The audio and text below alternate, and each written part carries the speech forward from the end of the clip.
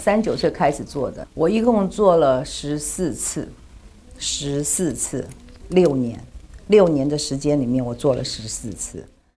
像我来讲，从我年轻的时候，我就想要一个属于我自己的孩子，而且我要的是女儿啊，要跟我长得很像的女儿。在婚姻里面，我们其实有刚刚谈到，呃，一方面当然是来自于呃婆家的压力啊，或者是整个社会的压力。每一个人都会问，哎，周丹啊，结婚了好几年了，怎么都没有生孩子啊？OK，这个是我在那几年常常常常，只要是碰到人，人家就会问我的一个问题。这个对我来讲是一个很大的压力。那，嗯，对于我的呃婆家他们来讲，他当然是希望要有抱孙子，那也是一个很大的压力。然后另外一个压力就是来自于我自己了，不断的告诉自己说，嗯，我可以的，我可以的，我绝对玩笑，这辈子还有我。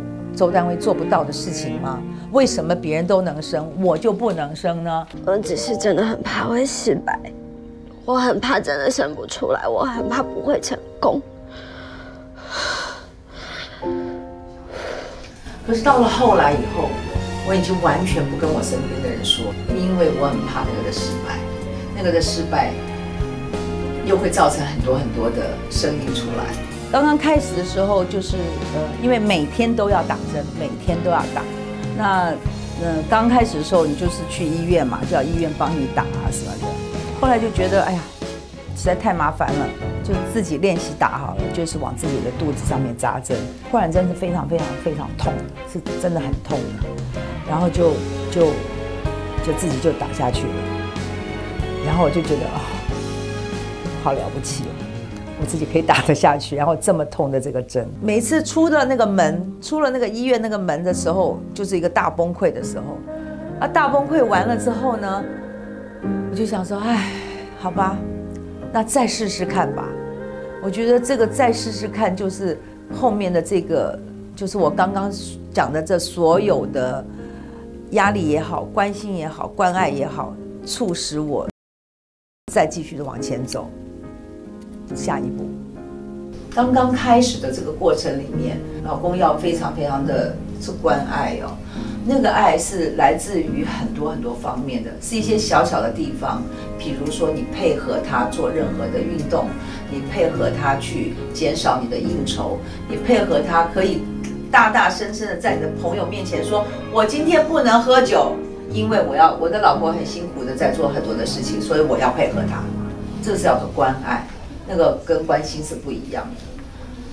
哭不哭？好，可不可以成功，真的不是我们可以决定的，好不好？但日子我们还是要过啊，对不对？如果你觉得不舒服、心情不好、不开心，你就跟我讲啊，我会尽量赶过来陪你，好不好？好了，没事。医生告诉我说：“你放弃吧。” 所以我就我我也意识到了，说凡事不能够逞强，也不能够强求。在前面那段时间里面，我放弃了之后，其实我有的时候不免还是会万叹，认为我这辈子没有做到妈妈，认为我这辈子没有做到，没有生了一个孩子下来，没有一个属于我自己的孩子，没有孩子，或许这真的是。上帝给我的一个功课，但在你没有办法强求而得到一个结果的时候，这个时候你就要懂得放手跟放下。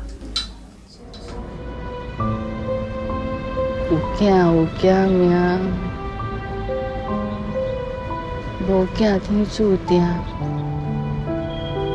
命里有时终须有，命里无时莫强求。